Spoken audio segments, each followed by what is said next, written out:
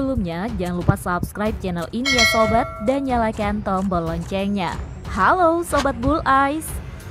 Sobat, Yakovlev Yak 130 merupakan pesawat latih tempur ringan berkursi ganda buatan perusahaan Yakovlev Rusia dan Air Machi Italia. Pesawat yang juga dikenal sebagai AIM 130 mulai dikembangkan pada tahun 1991 dan terbang perdana 5 tahun kemudian. Dimensi pesawat ini tidak terlalu besar, yakni memiliki ukuran panjang 11,49 meter serta rentang sayap 9,80 meter. Bobotnya pun cukup ringan sobat, yakni sekitar 4,6 ton saja. Namun pesawat ini mampu membawa beban hingga seberat 10,2 ton. Ditenagai oleh dua mesin turbofan Ivsenco Progress AI22225 Nitan mampu melesat dengan kecepatan hingga 1060 km per jam atau Mach 1.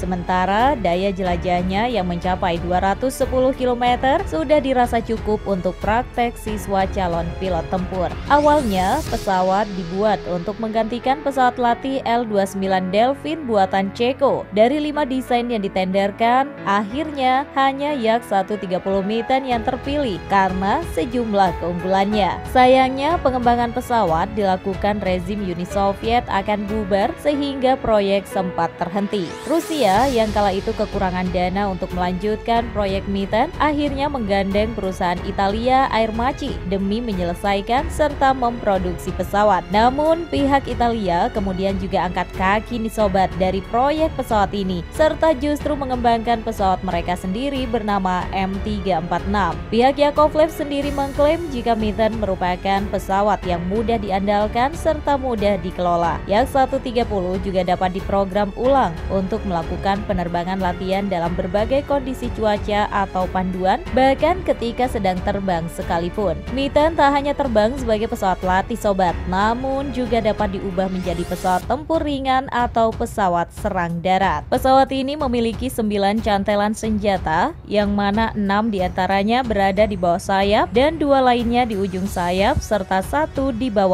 badan pesawat. Cantelan tersebut dapat membawa beban senjata hingga 3 ton, termasuk rudal udara ke udara dan udara ke permukaan, bom kaliber 250 kg dan 500 kg bom cluster serta persenjataan lainnya. Biaya untuk perawatan Yak 130 Miten ini dilaporkan sangat murah loh sobat. Pesawat ini juga bisa berpangkalan di mana saja, baik di landasan pacu beton dengan sistem pemeliharaan yang normal atau pada pangkalan udara tak beraspal. Yak 130 juga dapat dioperasikan di sejumlah tempat yang belum memiliki infrastruktur penerbangan yang memadai. Angkatan Udara Rusia sendiri telah mengoperasikan sekitar 200 unit Yak 130 untuk melengkapi empat resimen pelatihan udara. Sejumlah negara langganan produk Blok Timur juga tercatat mengoperasikannya, antara lain Algeria sebanyak 16 unit, Belarusia 12 unit, Laos 4 unit, Myanmar 18 unit, dan Suriah masih memesan 36